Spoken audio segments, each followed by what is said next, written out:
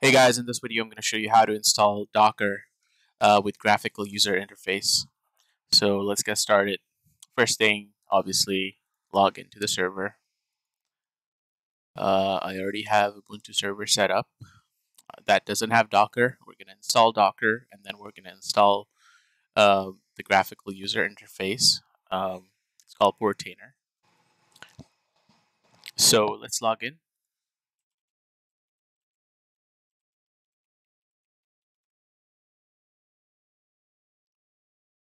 First thing we're going to do is update the packages.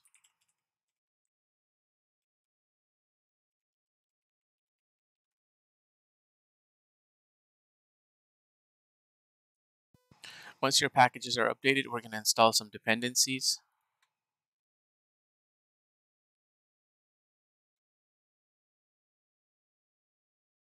I already have it installed. Let's get the GPG key for the Docker repository.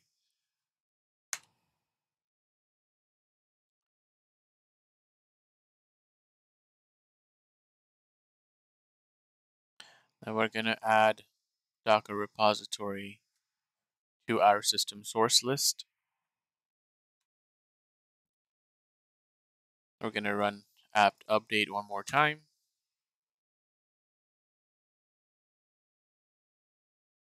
And we're going to install Docker CE. apt install Docker CE.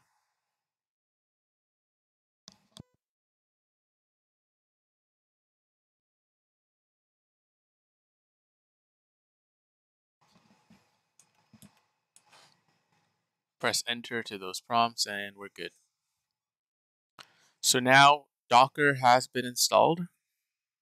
We can check the status of the Docker container or Docker package. You can see it's active. Next thing we're going to do is install Portainer uh, in a container. That is what we're going to use to manage our Docker package uh, through graphical user interface.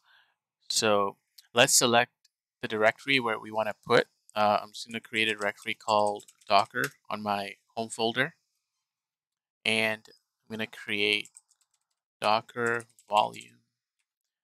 Create and then we need Portainer to store data somewhere.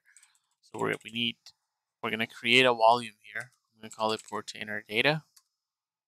Uh, obviously run it with sudo. And we we have created the volume. Now we're going to install the Portainer server in a container and these these are the commands we need to run. So portainer underscore data, make sure this is correct because this is the volume that we just created. This slash data would be the volume within the container. So host and this is container. So I'm going to press enter. Note uh, the port number is here. Uh, the port number within the container would be 8000 uh, and dash p would be on the host which means our ubuntu server uh, where docker will, will be accessible uh, where portainer would be accessible so to say. Uh, it would be on port 9443 so we're going to press enter. And once again i forgot sudo. So sudo and then run the command is going to pull the images, install them, extract them, and should be finished quickly. As you can see, it's completed. And now I'm going to do ifconfig to get our IP address. Looks like it's not installed. Let's install it. Wanted to show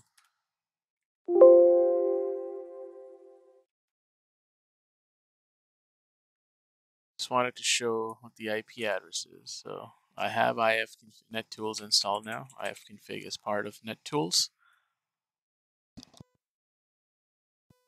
So I'm going to press enter and ENS 160 that's our network card and that's the IP address of the server. So let's go to the browser and we should be able to access no issues. I'm going to go to 10.37.0.7 colon 9443. That's our port number.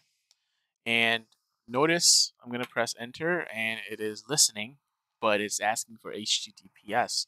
So we're going to have to use HTTPS and advance, proceed, and there we go.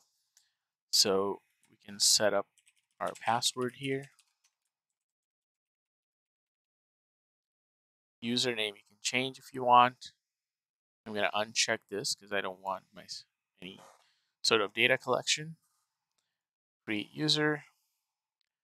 We're going to do add environment. Doc, actually, let's go back to home. And local is already added.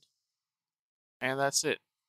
As you can see, we just installed one of our container and it is accessible. And you can do a lot of things from here, uh, but I'll post them uh, in the next video. Thank you for watching. Please like and subscribe if you like the video and comment if you'd like to see more. Thanks for watching.